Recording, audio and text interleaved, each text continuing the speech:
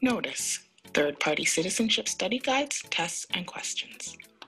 The only official study guide for the citizenship test is Discover Canada The Rights and Responsibilities of Citizenship, which is available from Citizenship and Immigration Canada at no cost. If you have applied for citizenship and are preparing for the citizenship test, your primary resource should be the official study guide. If you use any other material to prepare for the citizenship test, you do so at your own risk. Discover Canada The Rights and Responsibilities of Citizenship. Study Guide. The Oath of Citizenship. I swear or affirm that I will be faithful and bear true allegiance to Her Majesty Queen Elizabeth II, Queen of Canada, her heirs and successors, and that I will faithfully observe the laws of Canada and fulfill my duties as a Canadian citizen. Le serment de citoyenneté.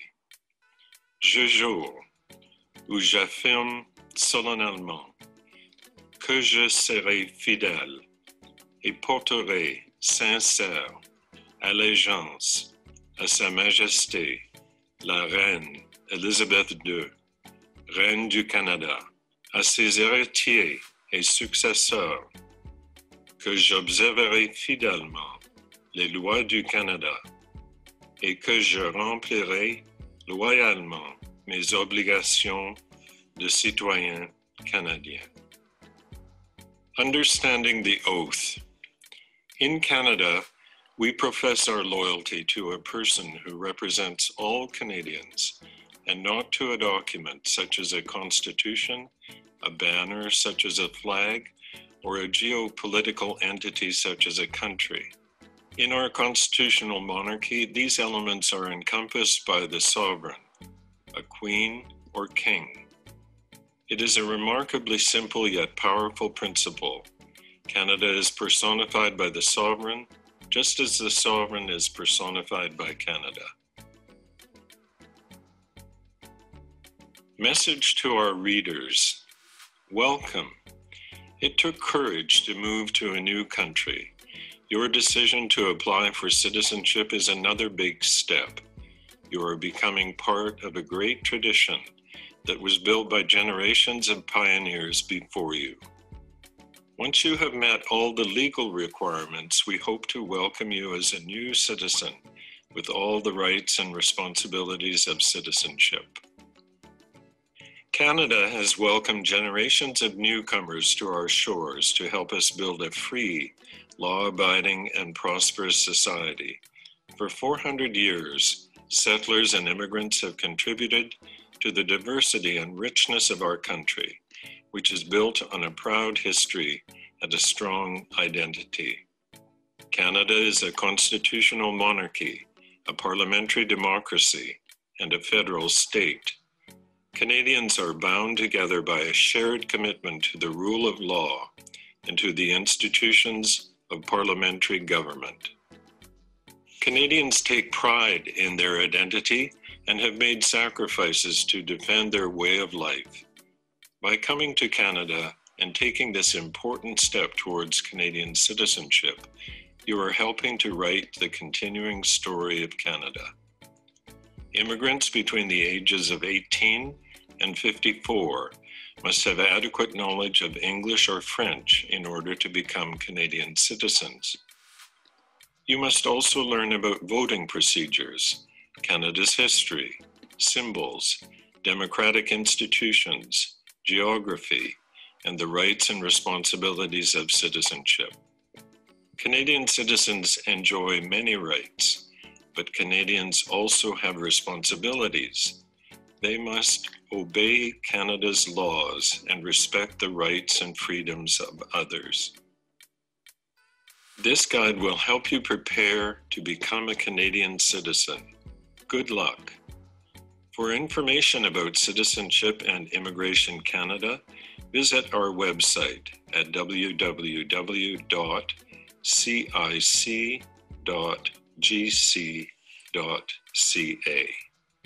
Applying for citizenship.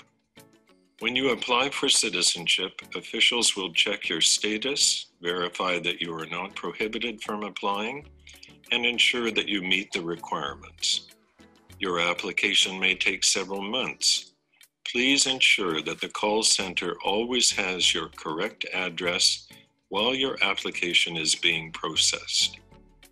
Telephone numbers will be supplied at the conclusion of this audio guide. Caption Images of citizens taking the oath. How to use this booklet to prepare for the citizenship test. This booklet will help you prepare for the citizenship test. You should study this guide, ask a friend or family member to help you practice answering questions about Canada. Call a local school or school board, a college, a community center, or a local organization that provides services to immigrants and ask for information on citizenship classes. Take English or French language classes, which the Government of Canada offers free of charge. About the citizenship test. The citizenship test is usually a written test, but it could be an interview you will be tested on two basic requirements for citizenship. One, knowledge of Canada and of the rights and responsibilities of citizenship. And two, adequate knowledge of English or French. Adult applicants 55 years of age and over do not need to write the citizenship test. The citizenship regulations provide information on how your ability to meet the Knowledge of Canada requirement is determined. Information about these regulations will be provided later in this audio guide. All the citizenship test questions are based on the subject areas noted in the citizenship regulations, and all required information is provided in this study guide after the test, if you pass the test and meet all the other requirements, you will receive a notice to appear to take the oath of citizenship. This document tells you the date, time, and place of your citizenship ceremony. At the ceremony, you will take the oath of citizenship, sign the oath form, and receive your Canadian citizenship certificate. If you do not pass the test, you will receive a notification indicating the next steps. You are encouraged to bring your family and friends to celebrate this occasion. Rights and responsibilities of citizenship. Canadian citizens have rights and responsibilities these come to us from our history, are secured by Canadian law, and reflect our shared traditions, identity, and values. Canadian law has several sources, including laws passed by Parliament and the provincial legislatures, English common law, the Civil Code of France, and the unwritten constitution that we have inherited from Great Britain. Together, these secure for Canadians an 800 year old tradition of ordered liberty, which dates back to the signing of Magna Carta in 1215 in England, also known as the Great Charter of Freedoms, including freedom of conscience and religion, freedom of thought, belief, opinion, and expression, including freedom of speech and of the press freedom of peaceful assembly, and freedom of association. Habeas corpus, the right to challenge unlawful detention by the state, comes from English common law. The Constitution of Canada was amended in 1982 to entrench the Canadian Charter of Rights and Freedoms, which begins with the words whereas Canada is founded upon principles that recognize the supremacy of God and the rule of law. This phrase underlines the importance of religious traditions to Canadian society and the dignity and worth of the human person. The Charter attempts to summarize fundamental freedoms while also setting out additional rights. The most important of these include mobility rights. Canadians can live and work anywhere they choose in Canada, enter and leave the country freely, and apply for a passport. Aboriginal people's rights. The rights guaranteed in the Charter will not adversely affect any treaty or other rights or freedoms of Aboriginal peoples. Official language rights and minority language educational rights. French and English have equal status in Parliament and throughout the government. Multiculturalism, a fundamental characteristic of the Canadian heritage and identity. Canadians celebrate the gift of one another's presence and work hard to respect pluralism and live in harmony. Caption Image of Queen Elizabeth II proclaiming the amended Constitution in Ottawa in 1982. The equality of women and men. In Canada, men and women are equal under the law. Canada's openness and generosity do not extend to barbaric cultural practices that tolerate spousal abuse, honor killings, female genital mutilation, forced marriage, or other gender based violence. Those guilty of these crimes are severely punished under Canada's criminal laws. Citizenship responsibilities.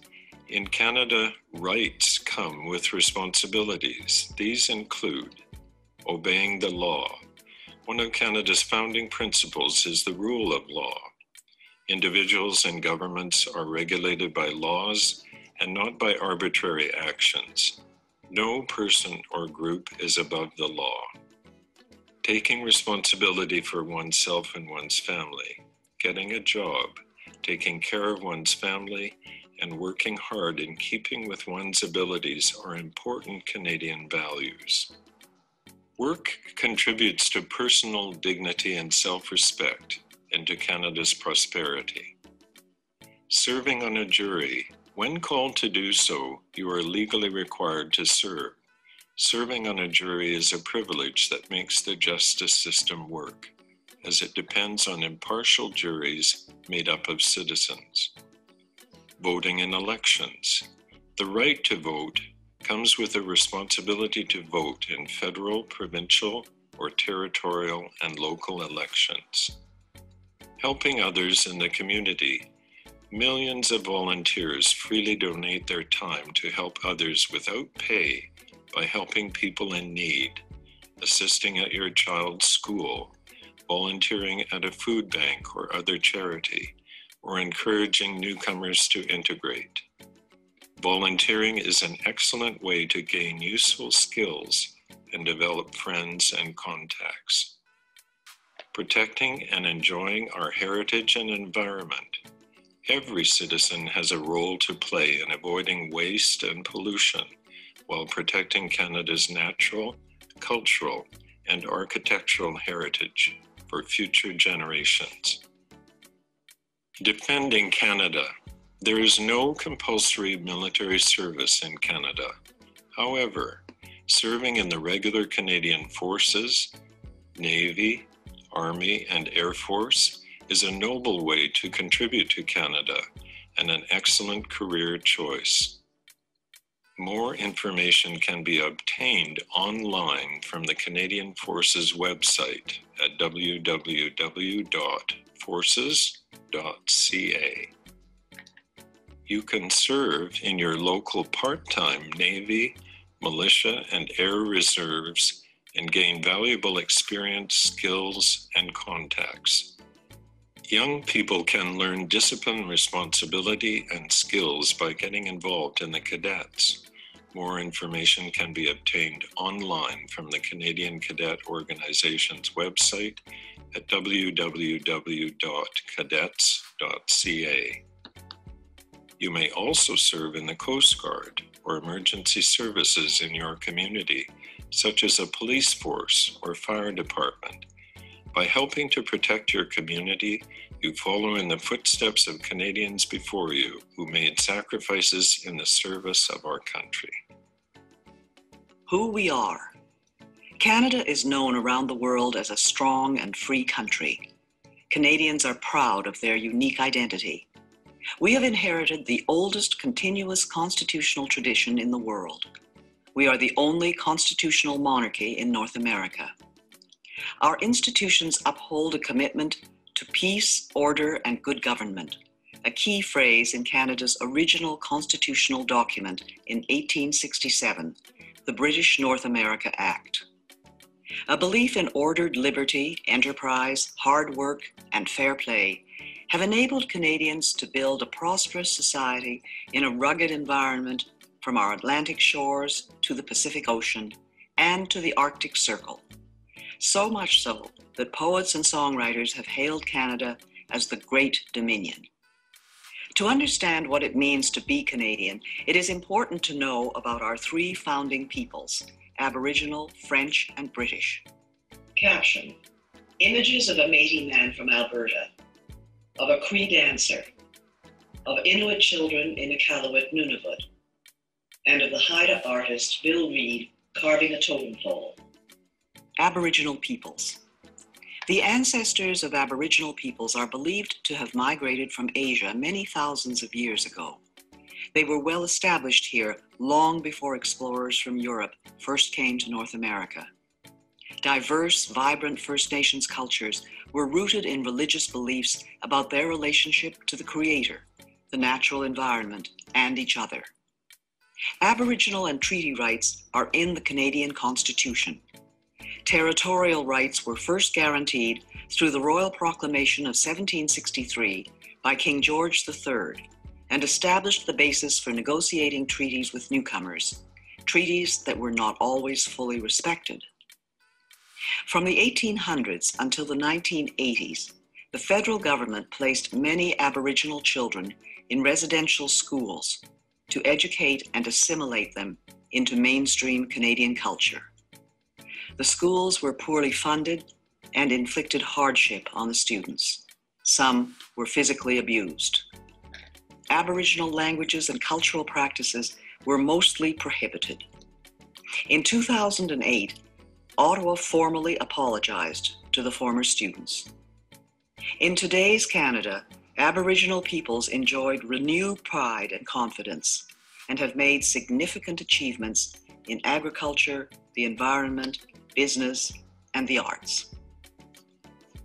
Today, the term Aboriginal peoples refer to three distinct groups. Indian refers to all Aboriginal people who are not Inuit or Metis. In the 1970s, the term First Nations began to be used. Today, about half of First Nations people live on reserve land in about 600 communities, while the other half live off reserve, mainly in urban centers. The Inuit, which means the people in the Inuktitut language, live in small, scattered communities across the Arctic. Their knowledge of the land, sea, and wildlife enabled them to adapt to one of the harshest environments on Earth. The Métis are a distinct people of mixed Aboriginal and European ancestry, the majority of whom live in the prairie provinces. They come from both French and English speaking backgrounds and speak their own dialect, Michif. About 65% of the Aboriginal people are First Nations, while 30% are Métis and 4% Inuit. Unity in diversity. John Buchan, the first Baron Tweedsmuir, was a popular Governor General of Canada in 1935 to 1940.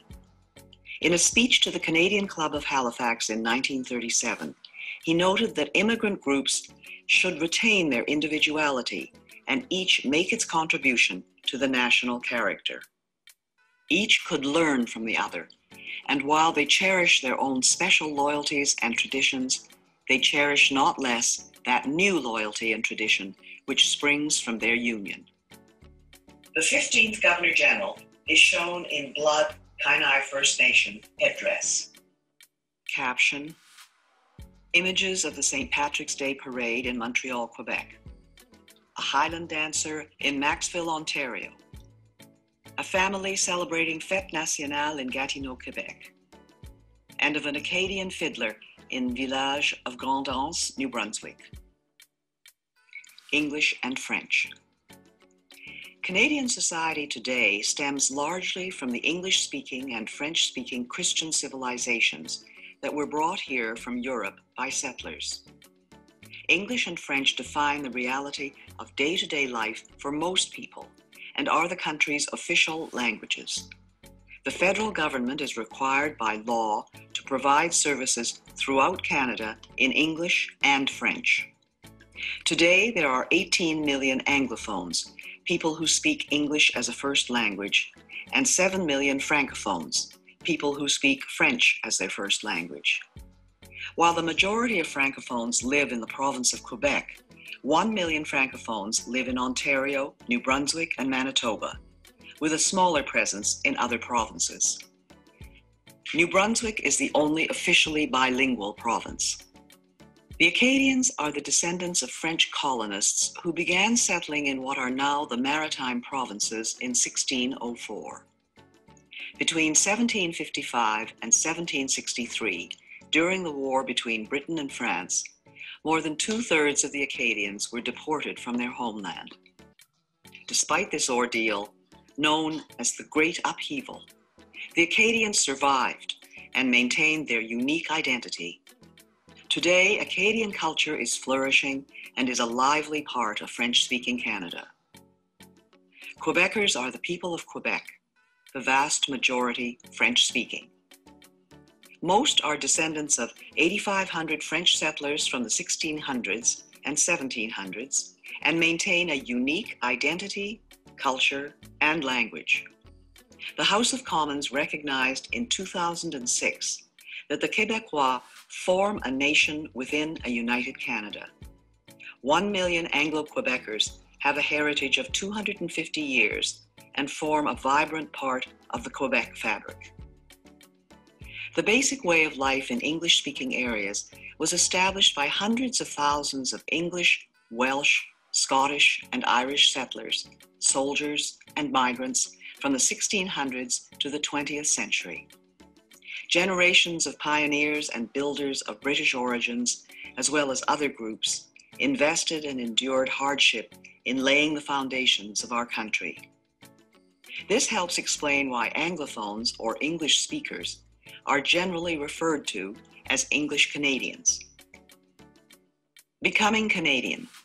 Some Canadians immigrate from places where they have experienced warfare or conflict. Such experiences do not justify bringing to Canada violent, extreme, or hateful prejudices.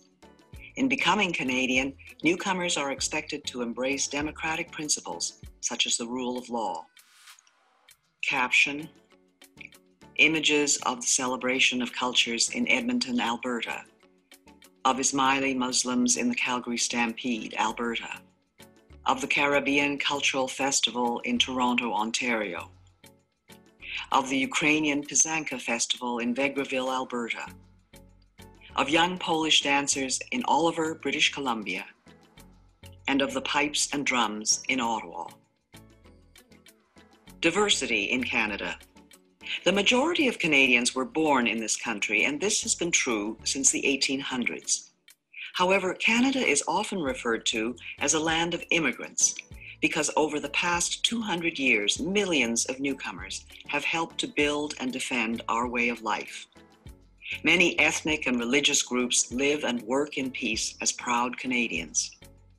The largest groups are the English, French, Scottish, Irish, German, Italian, Chinese, Aboriginal, Ukrainian, Dutch, South Asian, and Scandinavian. Since the 1970s, most immigrants have come from Asian countries. Non official languages are widely spoken in Canadian homes. Chinese languages are the second most spoken at home after English in two of Canada's biggest cities. In Vancouver, 13% of the population speak Chinese languages at home. In Toronto, the number is 7%. The great majority of Canadians identify as Christians. The largest religious affiliation is Catholic, followed by various Protestant churches. The numbers of Muslims, Jews, Hindus, Sikhs, and members of other religions, as well as people who state no religion, are also growing. In Canada, the state has traditionally partnered with faith communities to promote social welfare, harmony, and mutual respect, to provide schools and health care, to resettle refugees, and to uphold religious freedom, religious expression, and freedom of conscience. Canada's diversity includes gay and lesbian Canadians who enjoy the full protection of and equal treatment under the law, including access to civil marriage. Together, these diverse groups sharing a common Canadian identity make up today's multicultural society. Caption Images of Christmas in Gatineau, Chinese Canadian war veterans, Notre Dame des Victoires in Quebec City, and the Chinese New Year celebration in Vancouver. Image of Marjorie Turner Bailey with caption Olympian Marjorie Turner Bailey of Nova Scotia is a descendant of Black loyalists, escaped slaves, and freed men and women of African origin who in the 1780s fled to Canada from America, where slavery remained legal until 1863. Canada's history. Aboriginal peoples. When Europeans explored Canada, they found all regions occupied by native peoples they called Indians, because the first explorers thought they had reached the East Indies. The native people lived off the land, some by hunting and gathering, others by raising crops. The Huron Wendat of the Great Lake region, like the Iroquois, were farmers and hunters. The Cree and Dene of the Northwest were hunter gatherers. The Sioux were nomadic, following the bison or buffalo herd. The Inuit lived off Arctic wildlife. West Coast natives preserved fish by drying and smoking. Warfare was common among Aboriginal groups as they competed for land, resources, and prestige. The arrival of the European traders missionaries, soldiers, and colonists changed the native way of life forever. Large numbers of Aboriginals died of European diseases to which they lacked immunity.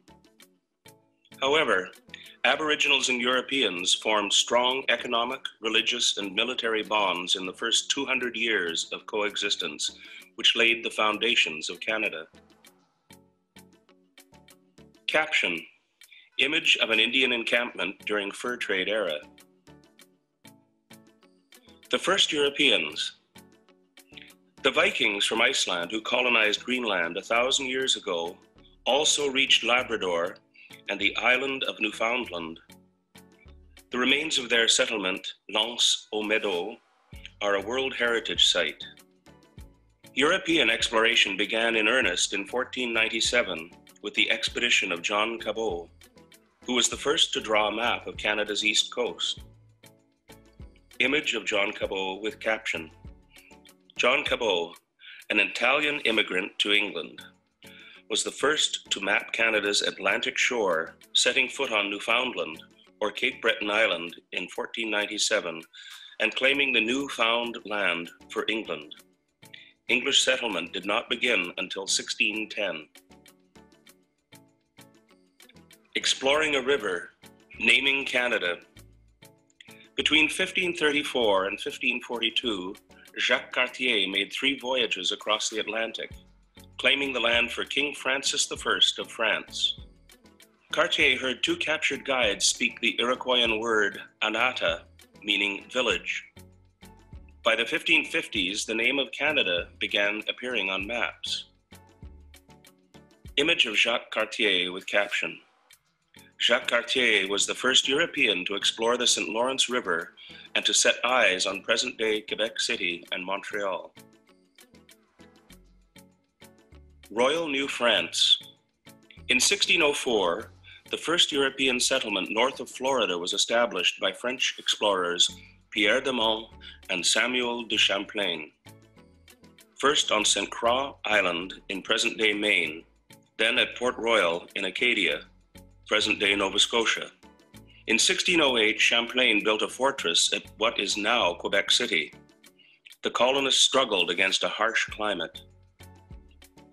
Champlain allied the colony with the Algonquin, Montagnais, and Huron, historic enemies of the Iroquois, a confederation of five, later six, First Nations who battled with the French settlements for a century. The French and the Iroquois made peace in 1701. The French and Aboriginal people collaborated in the vast fur trade economy driven by the demand for beaver pelts in Europe. Outstanding leaders like Jean Talon, Bishop Laval, and Count Frontenac built a French empire in North America that reached from Hudson Bay to the Gulf of Mexico. Image of Count Frontenac with caption Count Frontenac refused to surrender Quebec to the English in 1690, saying, My only reply will be from the mouths of my cannons. Image of Pierre Le Moyne with caption Pierre Le Moyne, Sieur d'Iberville, was a great hero of New France, winning many victories over the English from James Bay in the north to Nevis in the Caribbean in the late 17th and early 18th centuries. Struggle for a continent. In 1670, King Charles II of England granted the Hudson's Bay Company exclusive trading rights over the watershed draining into Hudson Bay. For the next hundred years, the company competed with Montreal based traders. The skilled and courageous men who traveled by canoe were called voyageurs and coureurs des bois and formed strong alliances with First Nations. English colonies along the Atlantic seaboard dating from the early 1600s eventually became richer and more populous than New France. In the 1700s, France and Great Britain battled for control of North America. In 1759, the British defeated the French in the Battle of the Plains of Abraham at Quebec City, marking the end of France's empire in America. The commanders of both armies, Brigadier James Wolfe and the Marquis de Montcalm, were killed leading their troops in battle. The province of Quebec. Following the war, Great Britain renamed the colony the Province of Quebec the French speaking Catholic people known as habitants or Canadiens strove to preserve their way of life in the English speaking Protestant ruled British Empire. A tradition of accommodation. To better govern the French Roman Catholic majority, the British Parliament passed the Quebec Act of 1774.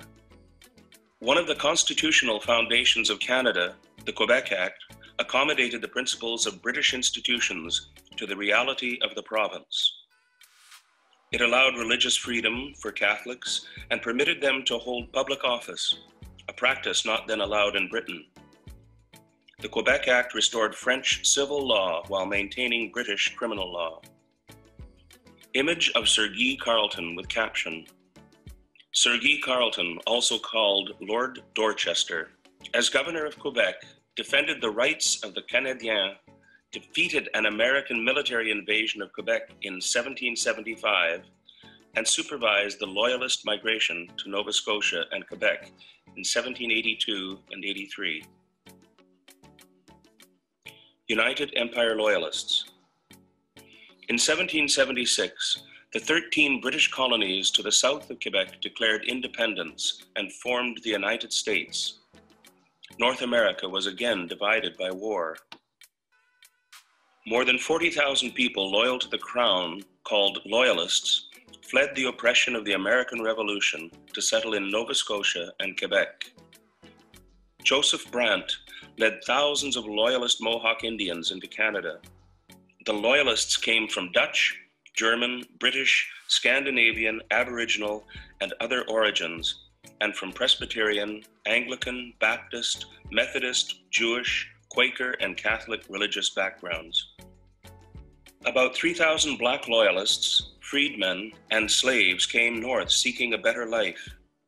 In turn, in 1792, some black Nova Scotians who were given poor land moved on to establish Freetown, Sierra Leone, West Africa, a new British colony for freed slaves. The beginnings of democracy. Democratic institutions developed gradually and peacefully. The first representative assembly was elected in Halifax, Nova Scotia in 1758. Prince Edward Island followed in 1773, New Brunswick in 1785. The Constitutional Act of 1791 divided the province of Quebec into Upper Canada, later Ontario, which was mainly Loyalist, Protestant and English speaking, and Lower Canada, later Quebec, heavily Catholic and French speaking. The Act also granted to the Canadas, for the first time, legislative assemblies elected by the people. The name Canada also became official at this time and has been used ever since. The Atlantic colonies and the two Canadas were known collectively as British North America. Image of the Assembly of Lower Canada with caption The first elected Assembly of Lower Canada in Quebec City debates whether to use both French and English. January the 21st, 1793. Abolition of slavery. Slavery has existed all over the world from Asia, Africa, and the Middle East to the Americas. The first movement to abolish the transatlantic slave trade emerged in the British Parliament in the late 1700s. In 1793, Upper Canada, led by Lieutenant Governor John Graves Simcoe, a loyalist military officer, became the first province in the empire to move toward abolition. In 1807, the British Parliament prohibited the buying and selling of slaves, and in 1833 abolished slavery throughout the empire. Thousands of slaves escaped from the United States, followed the North Star, and settled in Canada via the Underground Railroad, a Christian anti slavery network. Image of Lieutenant Colonel John Graves Simcoe with caption Lieutenant Colonel John Graves Simcoe was Upper Canada's first Lieutenant Governor and founder of the city of York, now Toronto. Simcoe also made Upper Canada the first province in the British Empire to abolish slavery. Image of Marianne Shad Carey with caption Mary Ann Shadd Cary was an outspoken activist in the movement to abolish slavery in the USA in 1853, she became the first woman publisher in Canada, helping to found and edit the Provincial Freeman, a weekly newspaper dedicated to anti slavery, black immigration to Canada, temperance, urging people to drink less alcohol, and upholding British rule.